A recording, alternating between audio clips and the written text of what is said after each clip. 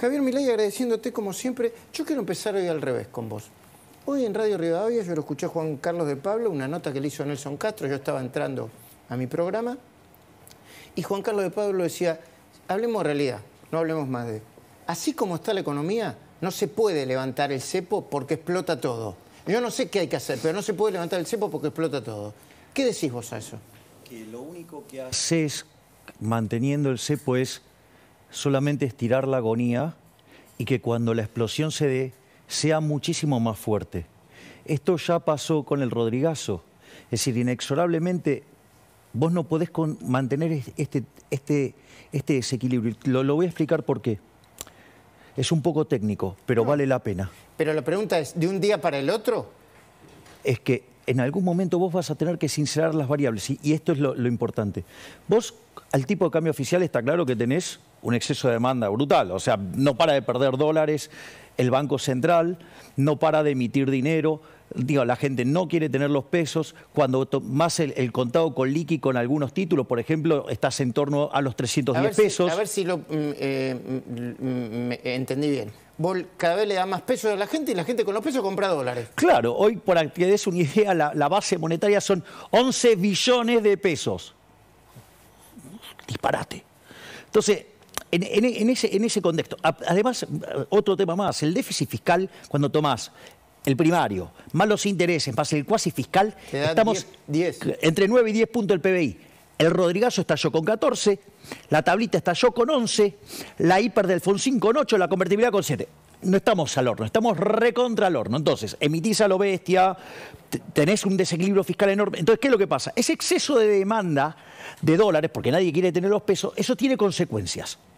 Eh, implica exceso de oferta en toda la economía. Por ejemplo, se te derrumba el precio de los bonos. ¿Qué es lo que el precio de los bonos que se te derrumbe? Y el riesgo país en 2.800, la punta corta en 5.500. Credit Default Swap ya no existe más, no, existe poder cubrirte. El seguro, de, el seguro contra un default de ah. Argentina ya no, no, tenés más. Superó los 10.000 puntos, no hay más. No, se trae idea más. Fue lo que Bataki fue lo que propuso.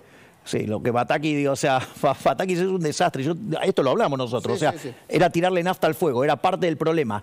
Recita todas las cosas que dañaron a la Argentina. Entonces, en ese contexto que vos tenés ahí, ahora es donde empieza la parte más complicada. ¿Por qué? Porque vos generas un exceso de oferta en el mercado de bienes, es decir, se te empieza a derrumbar el nivel de actividad económica, se te desintermedia el ahorro con la inversión, se te cae la inversión, se te cae el puesto de trabajo, se te deteriora el salario real y tenés más pobres e indigentes. Es decir, cuando vos veas la película final con estos niveles de inflación, vas a ver volar a la indigencia y la pobreza. Cuando vos blanquees el problema que tenés con el tipo de cambio, la cantidad de pobres va a ser enorme. ¿Y el problema cuál es? Que si vos seguís con esta situación, empezás a tener un trade-off. Sí, ok, digo, ¿qué haces? ¿Mantenés el tipo de cambio, el, oficial, ah, bárbaro. Pero en términos de actividad, de empleo, de salarios reales y de miseria, la gente va a ser mucho peor. Entonces no te lo vas a bancar socialmente. A ver, digamos, hoy, perdón, eh, Luis, hoy a ver, primero vos señalaste algo muy, bueno de un informe que hizo Agustina, que es la gente empieza a comprar las cosas fraccionadas, te compran una feta de queso.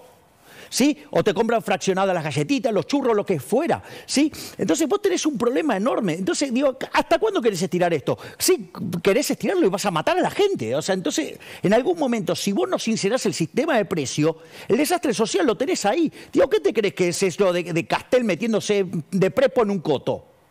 Es eso. Es decir, de vuelta, las condiciones sociales de hoy son muchísimo peores que las que tenías en el 2001. Lo que pasa, nosotros lo venimos hablando regularmente. El problema es que, o el tema es que los revoltosos están adentro del gobierno. Y encima las peleas entre Cristina y Alberto van contra los revoltosos. O sea, la están preparando de lo lindo. Entonces, no es, o sea, vos no podés ir contra la ley de la gravedad sistemáticamente. Y ahora, y cuando el presidente dice esto, ¿cómo hay que interpretarlo? Por supuesto que la mesa también puede sumarse, pero primero escuchemos y veamos al presidente diciendo esto hace horas.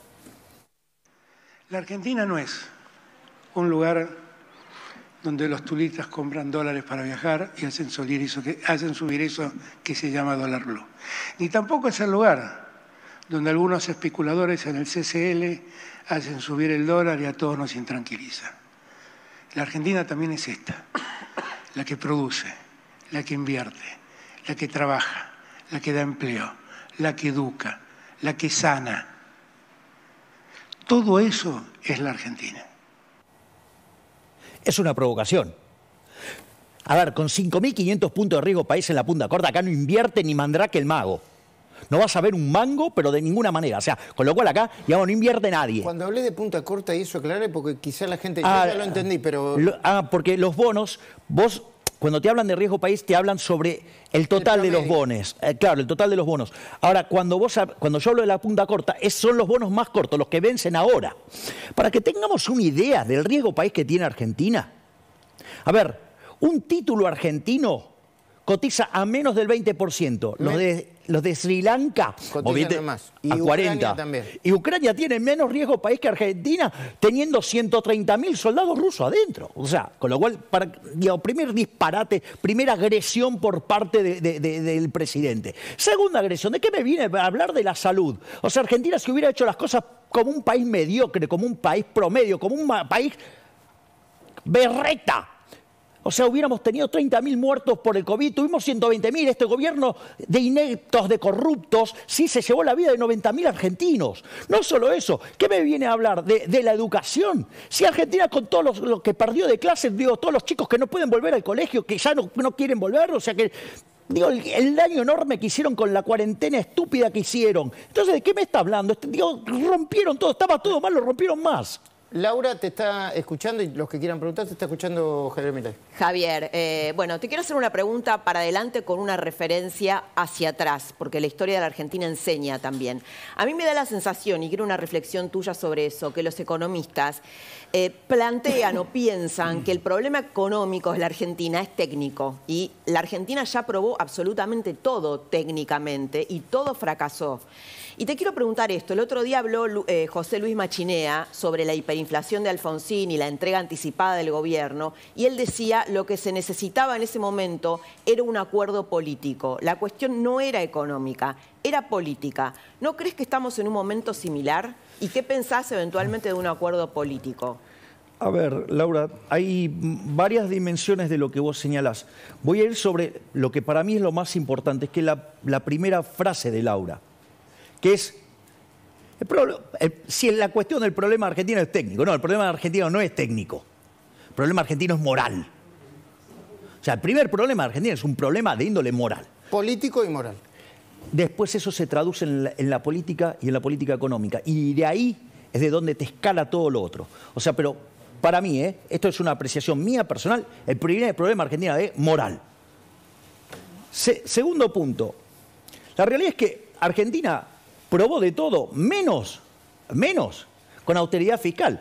De los últimos 122 años, o 121 años para ser más exacto, solamente 10 años tuvimos equilibrio fiscal o superávit fiscal. Vamos, o sea, con lo cual nunca probamos una receta de ser razonables en términos de... menos de lo que entra. Por ejemplo. Entonces, después, y eso hizo que de ser el país más rico del mundo, hoy ya digamos, no sé, habría que recomputarlo, pero digamos, o sea, estamos 80 o menos al oficial y, abajo de 120 en el paralelo, con lo cual ahí hay otro tema. O sea, lo que ha hecho Argentina en los últimos 110 años por lo menos... Estuvo mal.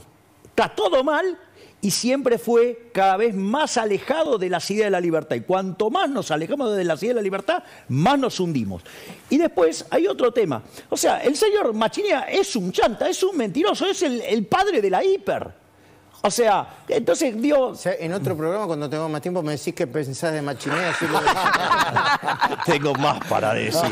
Pero no importa, al, margen, al, margen, al margen de eso a lo que voy es, digo, ¿cómo, ¿cómo va a decir que es un problema político cuando tenía, digamos, estaba el déficit fiscal en, números estratosféricos, hacía toda esta fiesta de los bonos, digo, que, que, licitaban, que eran una joda total, y terminó generando un despilfarro fiscal enorme, y obvio, cuando vos a, ese despilfarro económico le, sumás problemas políticos y políticos que dicen cosas disparatadas, por ejemplo, como las que dice Alberto, digo, Alfonsín de esa no se privaba de ninguna, bueno, en algún momento la gente se asusta. Y cuando se asusta, ¿sabes cuál es el problema? Que se te cae la demanda de dinero. Cuando se te cae la demanda de dinero, o sea, podés tener una hiper aún sin emitir. Eh. Pero además, ese gobierno emitía a lo loco. o sea, no se genera 5.000% de inflación de la nada. Es una. Eh, ¿Me entendés que es una ofensa? Es, es, es insultante. Es una ofensa a la inteligencia, entiendo. Exacto. Eh, Florencia Donovan. Eh, sí, eh, me gustaría preguntarle, Javier, hoy, hoy en el mercado, con cualquiera que uno hablara, más o menos el diagnóstico es el mismo. Decían, esto está terminado por el mercado cambiario, acá vamos a una devaluación descontrolada. ¿Cómo lo ves? ¿Y te parece que una devaluación es la solución o qué pasa después de la devaluación? Es que la realidad es que primero es sincerar un precio. Es decir, entonces sabemos que los controles de precios todos terminan mal, entonces digamos, querer esforzarse y seguir manteniendo es de una de las pocas cosas que tenemos bien claro los economistas. Entonces, ¿para qué seguimos con esto? Perdón, Flor, tu pregunta iba en el sentido que es mejor tener una devaluación eh, controlada o más o menos manejada o una devaluación que, puede terminar en cualquier cosa. Eso sería... No, también no, eh, es que ya, ¿sabes lo que dice el mercado? ¿Qué? Con el cambio de ministro, el gobierno perdió la oportunidad de sincerar, como dice Javier Milei, de evaluar de manera controlada. y hoy tenés los efectos de una devaluación sin haber devaluado y al mismo tiempo, como el central está perdiendo reservas y como no hay venta de dólares, vamos a ir hacia una devaluación adicional, descontrolada, ¿no? Celestino Rodrigo quiso hacer una devaluación controlada terminó en algo que se llamó el Rodrigazo. Multiplicó por seis la tasa de inflación, lo cual hoy implicaría llevar eso a, niveles de arriba del 500%. Vos querés decir que hay que dejar que esto siga hasta que choque, hasta que, no, no, es que, demos la piña. Es que, no, es que inexorablemente te la vas a pegar. Es el problema, porque el, desastre monetario ya lo generaste. Cuando nosotros hablamos, en los últimos dos años emitieron 11 puntos el PBI, ¿qué creía? Que era gratis. Digo, y tenías imbéciles como Álvarez aquí diciendo, oh, miren, emitimos en la causa inflación. ¿Quién? ¿Quién? El imbécil de Álvarez Agit. Hay una, una... Álvarez Agit. Sí, hay, hay un eh, Álvarez El Gil. Eh, tiene una nota en, en, en, página 12, en Pravda 12, ¿sí? diciendo Pravda 2. Diciendo que emitir eh, y bajaba la inflación. Bueno, ahí lo tenés. O sea, ¿qué pasa? La política monetaria tiene rezago, 18 a 24 meses. No lo podés parar de ninguna manera. Vos dejás de emitir hoy y, no, y el desastre no termina, porque ya lo causaste dos años antes, por decirlo de alguna manera, 18 meses antes. Es más, Vos necesitas un programa de estabilización. Ahora, el programa de estabilización para que funcione, para que sea expansivo, que aumente el empleo, la actividad, que baje la inflación, que mejore los salarios reales, necesitas que tenga credibilidad. Ahora, la credibilidad no es cualquier cosa. Son dos cosas muy concretas. Una es reputación. ¿Y otra? Solvencia técnica. ¿Y otra? La solvencia técnica. No, no, o sea, esas dos cosas. Reputación. Reputación de Alberto, de Cristina, de kirchnerismo. entiendo. la solvencia técnica de Matakis faltó. Está bien. Me esperas unos segunditos, porque eso quería plantear con la mesa, aunque sea unos breves minutos. Hernán, Tato, Laura, eh, Florencia, Luis. En el gobierno, eh, sí, el despelote sigue estando, ¿no, muchacho? ¿no? E, esta reunión de los miércoles es por la galería. Eh, todavía no se sabe ni quién gobierna ni qué decisiones van a tomar. ¿O alguien tiene una información? Lo que pasa es que no, no, sigue siendo un desastre. Eh, a ver, lo que acordaron es no exponer en público sus diferencias. Pero es simplemente eso. Vos fíjate Cristina sigue sin hablar de Batakis. Y, es más, no la defiende nadie Batakis hoy. Está más sola, como se vio eh, ayer en la reunión con apenas cinco gobernadores. Laura, eh, esto es lo que está pasando. Claro. Laura. Bueno, eso y además el hecho de, que Cristina realmente llegó tarde a la mesa de los miércoles, ¿no? Porque, eh, porque la debacle está desatada y, digamos, de algún modo cuando Máximo Kirchner el otro día en el acto dice, bueno, vino Cristina para resolver todo, no creo que ese sea el deseo de Cristina, ¿no? Lo, lo, que Cristina quiere es justamente que la lapicera la siga teniendo Alberto. Hernán. Yo agregaría dos catástrofes institucionales. Primero, el capitalismo funciona con la división de poderes. El ataque a la justicia, además de ser un ataque brutal y la búsqueda de la impunidad de Cristina, hace que destruya el sistema económico. ¿Quién va a invertir donde los jueces lo deciden ellos? Y la segunda catástrofe adicional, lo que está haciendo el Banco Central. Está lejos, la emisión que están haciendo, lejos por afuera de la Carta Orgánica. Se está emitiendo el seguro que les puso ahora para comprar bonos con un seguro de plata para recomprar con este mecanismo de los puts es delictivo. Ojo con lo que está pasando ahí. Tiene que terminar lo que está haciendo el Banco Central ya. Yo coincido con lo que se dijo recién, Javier. Eh, ya la emisión de pesos ya viene hace tiempo. Pero si no la cortan ya, la bomba es atómica, es nuclear. Alguien tiene que decir, basta con esto. Y entonces, Javier, ¿por qué no explota todo? Porque los que hacen lío están adentro del gobierno, son parte del gobierno. De vuelta, las condiciones técnicas son muchísimo peores en lo social y en lo económico que lo que vos tenías entonces lo que en el 2001. Entonces lo que querés decir es que antes explotó, o antes de la Rúa se fue porque le, aceleraron la, porque le tiraron nafta al fuego. Sí, se lo aceleraron. Ya no todo, Luis, ¿eh? ¿eh? ¿Cómo? Que ya no están todos adentro, digo, refiriendo a ah, Javier. hay, hay piqueteros que están saliendo. Bueno, porque es insostenible, no pueden mantener esta mentira. Entonces, Está jaque mate esto, Luis. Y a la CGT le está costando también, ¿eh? Y a la, CGT, hace, una protesta esperen un, segundito que, esperen un segundito que tengo que, mandar la cámara. ¿Ustedes dicen que la CGT qué? Perdón. La CGT va a hacer una protesta. Los aliados supuestos de Alberto van a hacer una protesta en, un mes. me, me, me contestaste en el segundo, perdón, me contestaste en el segundo antes de irme. Entonces, si vos a todo esto un día se levantan todos juntos y se le ponemos un freno de mano y vamos a bajar el gasto público en un minuto, ¿es bueno o como el auto está a 200 kilómetros por hora se puede dar vuelta y, es que no va a tener credibilidad y por ende va a explotar igual. No te lo cree nadie. Vos ni aunque trajeras a, Friedman, a Mises, a Hayek, a Rothbard, a Adam Smith, a los mejores de todos los tiempos. A Milley también. No, no estoy a la altura de eso. Muy bien, muy bien, muy bien. Aún así, lo vas a chocar. Ya está, ya está chocado esto. Es decir, y la verdad es que cuando vos hagas esto, supongamos que lo hicieran, como no tienen credibilidad, como no tienen reputación, ¿qué es lo que va a pasar? La caída de actividad va a ser tan grande que no se la van a poder bancar y va a explotar igual. Es decir, por lo tanto, lo, lo, que hay que hacer es que tratar de que los daños de esto sean lo menor posible. El problema, ¿sabes cuál es? Que ni Alberto ni Cristina tienen estatura de estadistas para bancarse tener que poner las cosas en orden y comerse todos los bifes para entregar el gobierno como no corresponde. maneja estratégicamente, que pone el freno de mano, que lo está por empujar, pero como él dijo, eh, amenazó con renunciar al para atrás, no, son las que creen en Cristina como, como una especie de Churchill del...